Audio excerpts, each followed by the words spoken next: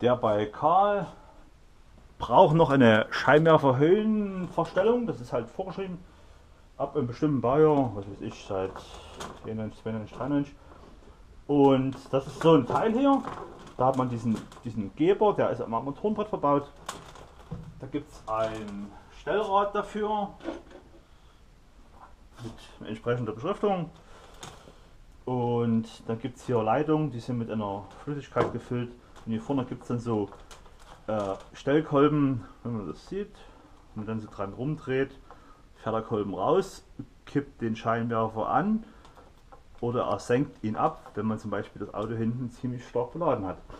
So, äh, das ist Vorschrift und das muss sein und das geht auch schnell kaputt. Ähm, ich will heute nie beweisen, dass man das reparieren kann. Das ist ja so die Aussage, wenn das kaputt ist, ist es kaputt. Das kann man extrem aufwendig reparieren. Man muss es nämlich neu befüllen. Wenn man Glück hat, hält das so lange und der TÜV merkt es nicht, dass es nicht funktioniert, dass irgendwann die Schläuche brechen, weil die einfach hart werden. Und dann ist zwar alles verloren. Und ansonsten werden die halt irgendwie undicht. Vermutlich hier an diesen Übergängen von der Metallhülse zum, zum Schlauch und verlieren Flüssigkeit und irgendwann geht in eine Seite, also hier gehen es noch beide, geht eine Seite nicht mehr und, und die andere Seite geht. Also die liegt jetzt schon ewig rum, die ist verbraucht, die funktioniert, das gibt es in neu. Das kostet, ich weiß es nicht, 20 Euro, weniger.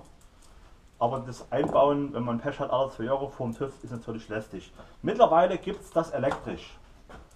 Schaut da mal bei dem Kanal von Lada Power vorbei. Die haben das vor relativ kurzer Zeit äh, gehabt. Das kostet natürlich deutlich mehr. Da gibt es dann elektrische Stellmotoren und hier oben einen elektrischen Geber, wo dann die Motoren rein rausfahren. Wir bauen das klassische ein, bei A liegt es da und B ist es viel billiger. Ausbauen geht ziemlich einfach. Äh, also wenn man es reparieren will, ist es eigentlich ganz einfach. Man, man, äh, man schneidet hier die, die Enden ab, hängt die Leitung nach oben, macht oben kleine Trichter dran und äh, füllt dort die Bremsflüssigkeit ein. Und dann tut man so lange unten hin und her pumpen, bis alle Luft Stück für Stück rausgeschoben ist. Das ist ein enorm langwieriger Prozess, wenn, äh, wenn, die, wenn der Schlauch fast leer ist. Da muss man ein bisschen Zeit haben und dann muss man äh, sich eine Vorrichtung bauen, dass dieses Teil draußen bleibt. Das wird ja so rausgucken muss ich praktisch wie eine, Klammer bauen, die das draußen hält. Damit man äh, das System befüllen kann, auch mit einem kleinen Trichter, und dann muss man das hin, hin und her pumpen, bis es voll Flüssigkeit ist, okay, Luft mehr drin ist. Dann hat man praktisch alle beide Teile äh, voller Flüssigkeit und steckt die dann schnell zusammen, um dann festzustellen, dass die nicht ganz gleichmäßig gehen. Dann muss man wieder ein bisschen Flüssigkeit ablassen. Ich glaube, das muss man nicht haben, dass wenn das neu so wenig kostet, das ist nur rein für den äh, ich kann's, ich mache es, weil ich kann, aber machen wir heute nicht. Wie gesagt, ausbauen ist einfach, man schneidet es einfach ab und zieht dann die Leitung einfach raus. Die sind ja unten an den Scheinwerfern festgemacht, das sieht man jetzt ein bisschen schlecht. Äh, äh, hinter den äh, die Scheinwerfer müssen dort äh, nie unbedingt raus, aber was jetzt hier nicht schön ist, habe ich nie mitgedacht, die äh, Radkästen müssen raus. Theoretisch, wenn man nie weiß, wie es geht und man gucken kann.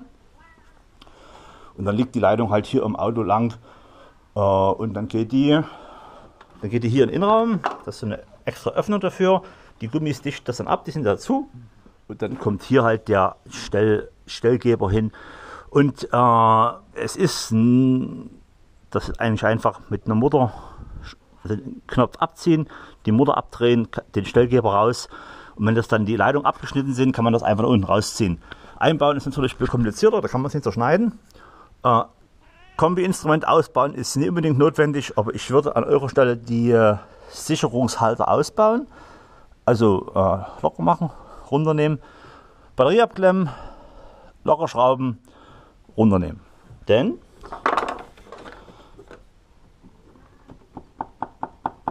wir stoßen hier direkt gegen den Sicherungshalter. Das war bei den 1600ern früher auch ein bisschen anders. So, wenn der Sicherungshalter abgeschraubt ist, kann man den vielleicht ein bisschen rübernehmen. Und dann sieht man jetzt wahrscheinlich hier nicht so viel. Aber äh, dort vorne, da geht es raus. dann muss man jetzt wieder gucken, man muss praktisch von hier raus. Äh, es geht ein bisschen so in einem Bogen weg an dem, an der, an dem Geber, dass man da so rauskommt, dass, dass die, der Schlauch nicht geknickt wird und dass man später den Sicherungshalter wieder hinbauen kann. Das ist jetzt keine schöne Arbeit, das kann ich jetzt nicht aufnehmen, aber es ist äh, machbar und irgendwann wird das dann hier fest sein und vorne äh, kommt, die, kommt die Schläuche raus. Vielleicht ist es ja doch vom Vorteil, dass man das hier offen hat, da kann man da noch ein bisschen seitlich reingucken, wie das dann aussieht, wenn alles montiert ist. Oder du musst das kontrollieren. So, ich habe das jetzt lange nicht gemacht, war erstaunt, dass das so gut ging. Am, äh, komplizierten war's, am kompliziertesten war es noch hier diese, diese Gummidichtungsarbeit einzusetzen. Und lange nicht gemacht, weil 1600er hat es nicht.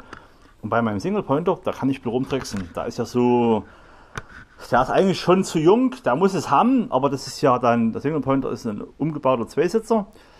Und da habe ich das auch hier drinnen so umgebaut, dass man das, das ist gar nicht da. Ne, ist ein anderes Blech. Da kann ich immer sagen, hat er nicht. Und damals, wisst ihr doch, Lada Deutschland war pleite und da haben die die Autos irgendwie so zugelassen. Und ähm, dadurch, dass es ein Zweisitzer ist, mein Single Pointer braucht er praktisch keine Höhenverstellung, wenn die Scheinwerfer vorne korrekt eingestellt sind. Komme ich seit Jahren immer drum herum. Der Typ ist wahrscheinlich auch froh, wenn er sagt, oh gut, okay, die Einstellung ist äh, äh, korrekt und damit ist das gut. Hier werden wir es brauchen und hier wollen wir es auch haben. Ähm, ihr seht hier an, an, die, an, dem, an dem Geber ist so eine kleine Nase dran und hier ist in dem Kunststoff eine Aussparung. Also wird er eingebaut, dass die Schläuche hier zur Seite weggehen und dann im Bogen nach vorn. Das wird man jetzt hier nicht so schön sehen. Aber damit es auch keinesfalls die, die Kabellage von, äh, vom Sicherungshalter. Legt einfach das schön parallel, dass die Schläuche hier schon über Kreuz springen und in den schönen Bogen. Und jetzt beim Festschrauben vom Sicherungshalter erstens darauf aufpassen, dass sich keine Kabel abrutschen. Ne? Schön gucken, alle fest sind. Und dann das vorsichtig hochdrücken, gucken, dass hier auch kein Kabel eingequetscht wird und dass vor allen Dingen auch der, der, die Schläuche da nie gedrückt und eingequetscht werden. Und da macht man das schön sachte, da kommt das dann schon hin. Die Mutter hier zum Festschrauben, die setzen wir einfach vorsichtig auf und dann nehmen wir die hier mit so einer Spitzzange und machen das so ein bisschen zack fest. Das ist ja im Kunststoff und dann kommt der Strich auf die Null. Das muss unbedingt, das ist ganz wichtig, das muss stimmen. So ist auf Null und so ist es dann auf das dickste eingestellt. Wir machen es natürlich drucklos, damit es lange hält. So. Genauso wie im, im Innenraum hinter dem Armaturenbrett sollte man sich auch hier draußen bisschen Mühe geben. Die, das lange, der längere Schlauch geht rüber zur Beifahrerseite, der kurze geht hier gerade raus. Dass man hier schon guckt, wie kommt es raus, bedenkt, hier liegt das Reserverad. Also das muss irgendwie noch jetzt mit Kabelwindern hier an den Hauptkabelbaum fixiert werden. Hier wahrscheinlich mit dem, der ist dazu original. Äh, hier an der Kante bitte schön gucken, dass das hier nicht zu hart rüber geht. Denn das Neue ist, ist das schön flexibel. Vielleicht drehe ich hier noch ein bisschen die, die Dichtung, dass der, dass der unten rauskommt. Ja, wahrscheinlich mache ich das. Ich habe mir jetzt hier noch nicht in die Klipse zum Hauptkabelbaum Schön gucken, dass er äh, versteckt liegt, dass er nirgendwo an der Kante liegt. Und dann geht er hier vorne da raus, wo auch das Kabel zu den Scheinwerfern rausgeht, also ähm, Fernlicht, Abblendlicht. Und das Kabel wird dann praktisch hier in die Dichtung mit eingelegt. Die ist hier dafür, ist die hier geschlitzt. Da kann man beides rausführen. Das draußen zeige ich euch gleich anders. Auch vor allen Dingen hier an der Beifahrerseite, das wird dann noch hier noch schön äh, fixiert, macht das so, wie das Original war. Da macht es auch Sinn, sich zu überlegen, wie, wie verlegt man das oberhalb, unterhalb. Dass es auch hier nie an den Kanten liegt, vor allen Dingen, dass es hier nicht am Wischergestänge äh, zu Konflikten kommt. Und hier dahinter hat man ja so eine, so eine Klammer, so so eine Blechklammer, die, das werdet ihr wahrscheinlich nie sehen, die da den, den Kabelbaum fixiert. Da habe ich es mal jetzt bewusst nicht drunter gelegt, das würde mir zu sehr gequetscht. Hier ist es jetzt noch nicht verlegt. Ich denke mal, ich baue das nochmal aus, um die ganzen Kabel hier auch die Sensorik, alles nochmal schön zu machen. Da habe ich übereilt gehandelt, da ist auch noch Thermostat undicht. So, da haben wir das. Jetzt draußen am Scheinwerfer. Kann ich euch nicht zeigen. Rathausschalen, vorne Scheinwerfer haben wir hier. Das ist so ein Lampentopf für äh, Nivas mit Scheinwerferhöhenverstellung. Also früher war der Topf hier unten zu, jetzt ist hier so ein, so ein Teil dran. Hier so ein Plastikteil. Das, das sitzt praktisch jetzt so da im Radkasten. Ne? Ähm, das sind die Kabel für, fürs Licht. Die Lampentöpfe sind rechts und links gleich, also es ist immer äh, der Anschluss für die Höhenverstellung unten, das Kabel geht immer äh, links raus. Und da hat man jetzt einen dreckigen Lampentopf. Hier unten dran, so seitlich, ein bisschen eine, eine Nut, das seht ihr dann schon vor Ort. Baut am besten das Rad ab, baut einen Radkasten aus.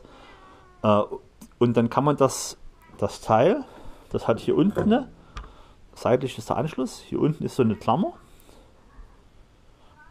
Eine wilde Mietz und eine Klammer. Und dann wird das praktisch äh, gerade rangeführt, aber ein bisschen versetzt, reingeschoben und dann wird das in Stück gedreht. Was für dich eine Achtelumdrehung, klack, ist es drin. Hier sieht man nochmal die Klammer, um die es geht. Ja, und dann würde man zum, zum Abbauen, müsste man die Klammer ein bisschen reindrücken und das dann drehen zur Seite, so wie eine Art Bajonettverschluss.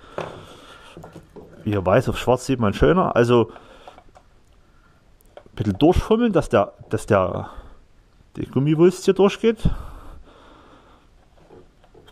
So, von hinten schön gerade ansetzen, aber eben nicht in, in die Endstellung bringen, dass das hier äh, waagerecht weggeht, sondern ein bisschen nach oben reinschieben. Das merkt man schon und dann klack ist das drin. Hält. Und jetzt guckt halt hier der Pinöppel hier raus und hier kommt ja so eine Platte rein, wo dann der Reflektor festgemacht wird und die würde sich dann verkippen oder nach unten wieder senken, wenn der einen ausfährt. Mietz, war das so richtig?